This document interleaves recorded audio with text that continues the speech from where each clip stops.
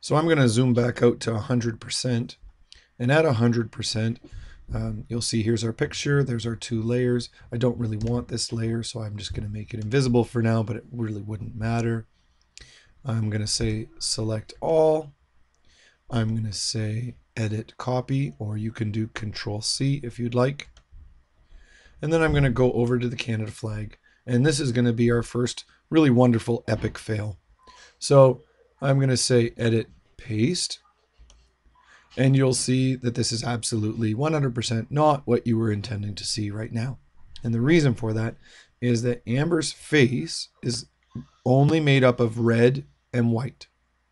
And if you look up at the very top, you'll see this is the Canada flag file. There's a star there that says it's now being edited, which it's not really sure what to do. We've imported it into the GIMP. That means it's a different file type. And it has indexed color.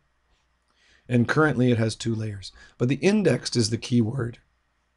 And so what the indexed means is that this is a, a GIF file eh, that we've opened.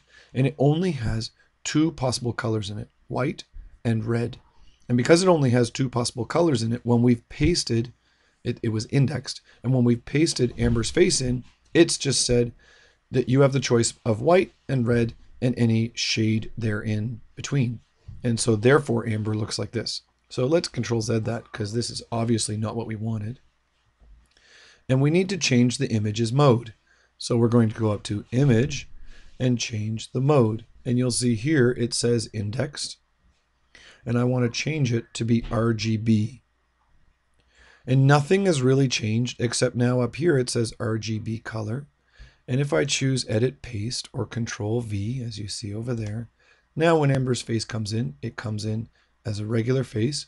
We still have a floating selection pasted layer over here. So the first thing we want to do is create a new layer out of it. And you'll see it looks like that. The yellow and black line around is just the edge of the layer if that's bothering you, it's not really a big deal at all. But if it's bothering you, certainly all you need to do is right click on this layer and choose layer to image size. And now that layer is the full image size.